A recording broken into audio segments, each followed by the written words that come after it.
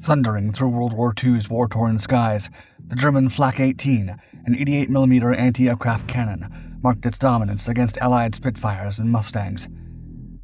As it evolved into the Flak 36 and then the formidable Flak 88, its 17 pound shells, propelled at over 900 meters per second, painted the skies with black plumes of smoke, every explosion hurtling shrapnel over 200 yards. This evolution extended its reach down from the skies and onto ground targets, devastating tanks like the Sherman and T 34, and crushing fortifications from a staggering 1.5 miles away.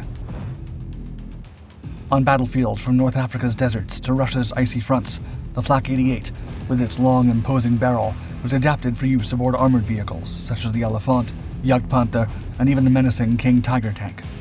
Starting as an anti aircraft weapon, it repelled the Allies' relentless aerial and ground assaults as one of the Third Reich's most effective weapons. Aircraft were used for military purposes for the first time during the Italian occupation of Libya in 1911. Although they were primarily given reconnaissance roles, the cunning Italians soon employed them for primitive bombing raids. During World War I, all major European armies employed aircraft by the hundreds to aid in ground operations, from intelligence gathering to dogfights and bombing raids, aircraft grew larger and became faster and more devastating when attacking enemy troops. Thus, armies retaliated with ground ordnance to strike them down from below. From mounted machine guns to standard artillery pieces on improvised mounts, the artillerymen did their best to neutralize hostile aircraft with everything they had at their disposal. In 1916, Germany began to experiment with new weapons tailored specifically for an anti aircraft role. Prussians realized existing artillery pieces of medium caliber were ineffective even against enemy balloons and tried using larger caliber artillery to take down aircraft. As a result, the German forces delivered trucks armed with powerful 8.8 centimeter anti aircraft guns to the Western Front. These were devastating Krupp and Ehrhardt guns, employing Kaiserliche Marine, later renamed Rheinmetall, to secure Prussian airspace. This new gun became one of the war's most effective anti aircraft artillery pieces, combining a powerful cartridge with high muzzle velocity, allowing the Flak 18 to reach impressive altitudes and strike down enemy reconnaissance aircraft. Prussia lost the war despite its effectiveness and could not improve its new dedicated anti aircraft artillery piece.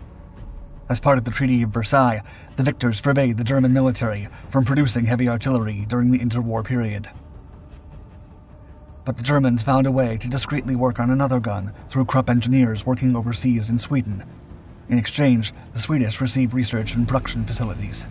It was the beginning of the legendary Flak 88 artillery gun.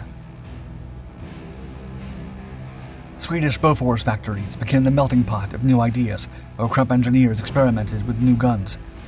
In the late 1920s, the German Reichswehr faced pressing need for dedicated anti-aircraft defense beyond its limited reliance on 7.92mm machine guns.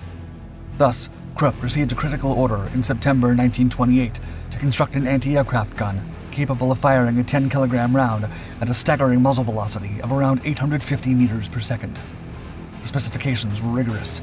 A gun that could rotate 360 degrees with an elevation range from minus 3 to 85 degrees, mounted on a cross-shaped base with four outriggers. On a four-wheeled bogie, the guns were towed at a maximum of 30 kilometers per hour. Later modifications included requests for a firing rate of 15 to 20 rounds per minute and high explosive rounds with a delay fuse. Initial discussions about the caliber deemed a 7.5 centimeter gun insufficient, opting for the more effective 8.8 centimeter caliber. Despite setting this as a minimum, allowances were made for a larger caliber, provided the gun's overall weight did not exceed 9 tons. In addition, the towing trailer needed to reach 40 kilometers per hour when pulled by a half truck or larger trucks. In 1931, German engineers returned to the fatherland and began working on the prototypes. The company delivered several guns and trailers to the army one year later. In 1933, when Adolf Hitler and the Third Reich seized power, the 8.8 centimeter Flak 18 was put into mass production what followed were improved versions conceived in 1936, 1937, and 1941. With the rearmament of Germany, over 2,000 Flak 18s were produced and shipped for immediate testing with the German Condor Legion involved in the Spanish Civil War. The results were unquestionable. The Flak 18, now dubbed Flak 36 due to its latest upgrade, was highly accurate and versatile in combat. The Flak 88 became the pinnacle of German air defense. Its robust 9.4 kilogram shell could tear apart aircraft flying 8,000 meters above. The gun's high explosive rounds, with a delay fuse of up to 30 seconds, delivered substantial destructive power upon impact, making it highly effective against air and ground targets. Equipped with its broad swivel and elevation ranges, this gun could quickly track and target aircraft across the sky, adapting to various aerial attack angles. Furthermore, an effective optical targeting system enhanced the Flak 88's precision thanks to the ZF-20 sights. Mounted on a mobile carriage, the Flak 36 was designed for efficient transportability, making it versatile with its crew of 10 for almost every combat situation. With a mass of over 7,000 kilograms, a length of 5.8 meters, a width of 2.3 meters, and a height of 2.1 meters, the imposing flak gun was no small beast, but the trained crews could set it up in over three minutes, enhancing the German Blitzkrieg doctrine. Overall, the Flak 88 can discharge around 20 rounds per minute, greatly enhancing its potential to counter aerial threats effectively. These features collectively render the Flak 88 a highly effective and adaptable weapon for different situations. In June 1941, at the Halfaya Pass on the Libya-Egypt border, 13 Flak 88s from Rommel's 15th Panzer Division destroyed over 100 British Matilda tanks attacking his positions, paving the way for an anti-tank version of the anti-aircraft gun. Rommel's use of the Flak 88 to destroy armored ground vehicles made the gun even more versatile for different combat scenarios, making it multi-role. In Russia, the Germans used the gun effectively to neutralize Soviet T-34 and KV tanks, the weapon proved so successful for the anti-tank role that Germany took a step forward and adapted the flak for use with the Tiger I, Elefant, and Jagdpanther armored vehicles.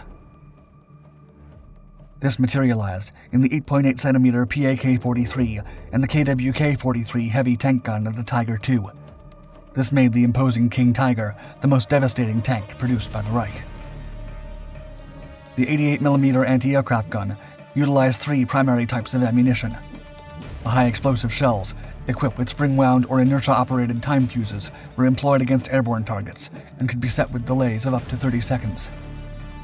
These shells were also used for ground targets, featuring percussion fuses with a 0.11 second delay. There were also armor piercing shells used against tanks, which included a tracer and a small base fuse bursting charge. Initially, they were armor piercing composite rigid projectiles with a tungsten core. However, the supply of tungsten ore to Germany was cut off due to Allied diplomacy. Despite this, Krupp engineers were developing an extended barrel 88 that could penetrate Allied tank armor without tungsten, marking a strategic shift in their ammunition design. In its different variants, the German flak launched a 20-pound shell at over 840 meters per second, reaching an effective altitude of 9,900 meters.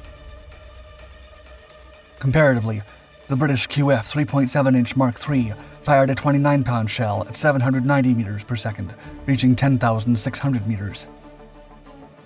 Similarly, the American 90mm M1 and the Italian Canona 9053 hit targets at over 10,000 meters. These guns gained an edge with proximity fuses, but were bulkier and less mobile, needing modifications for ground fire. However, they had limited anti-tank use compared to the versatile German 88, which was used both defensively and aggressively. For Germany, the tide changed in 1944 with the Wehrmacht's withdrawal from the Eastern and Western fronts. Renowned for its versatility, the Flak 88 was a pivotal asset in German defense, proving its worth against air and ground targets.